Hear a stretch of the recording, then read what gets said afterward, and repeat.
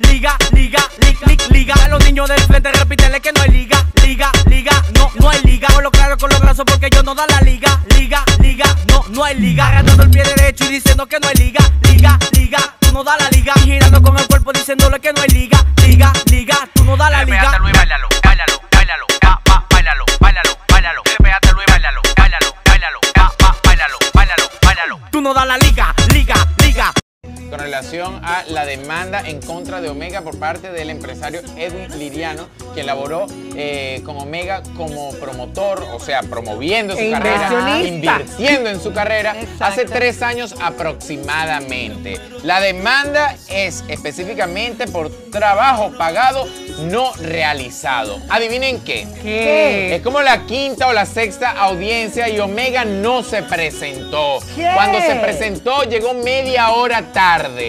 Entonces, al llegar, ya el juez había dictado sentencia. Ajá. Y la sentencia es la siguiente. Pónganlo ahí en pantalla en grande, por favor, para yo leerla.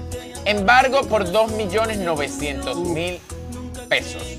O sea, embargo 3 millones. de su propiedad. O sea, Tres se millones. meten en su propiedad. Exacto. Las mismas imágenes que vimos la otra vez irán a sacar cosas por un O sea, monto. está bien. Él, él entrega una jipeta de, la, de, de, de, de las dos iguales que tiene. La- y ahí la está Meguchi. Y otra pan y llega, Y ya, creo. ok. Ajá. Sigue. Eh, orden de arresto.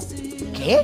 Claro. Ahorita le vamos a explicar, pero eh, él llegó, entonces cambió eso. Ah, ok. E impedimento de salida. Ok, ahora y voy. publicación de sus datos en los medios de Y publicación de comunicación. sus datos en los medios de comunicación. Eso no lo entiendo. Es decir, poner Peter Antonio de la Rosa. Portador de la cédula de identidad, no sé qué. Ok. datos personales a cualquiera. No quiere que le. Como el. el- más que le puedan afectar es que uno sepa la edad de él eh, con la publicación de sus datos.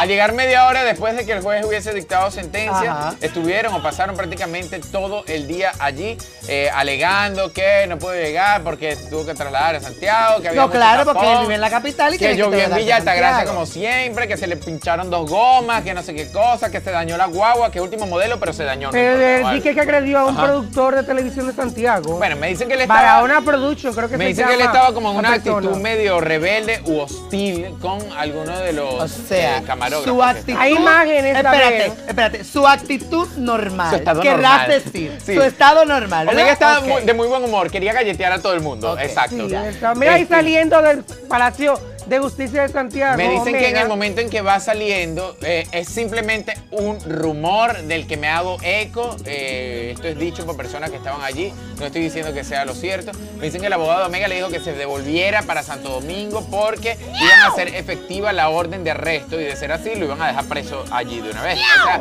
en el bote, mi amor. Iban a cantar ñao. Omega jugando rojo en el baño hubiese sido algo, mi amor, una poesía lírica. Pues nada, allí estamos viendo Omega nueva vez metido en problemas.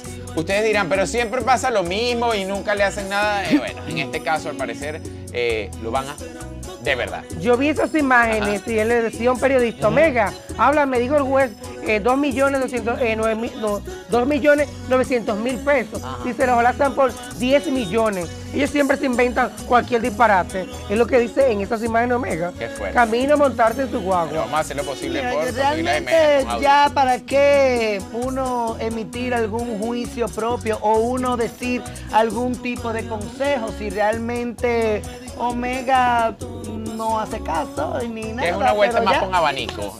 Una raya más yo pienso que Omega, al igual que Bella Carolina, tendrá que en algún momento tocar fondo y a ver si así recapacita. Me da mucha No, pena Omega porque-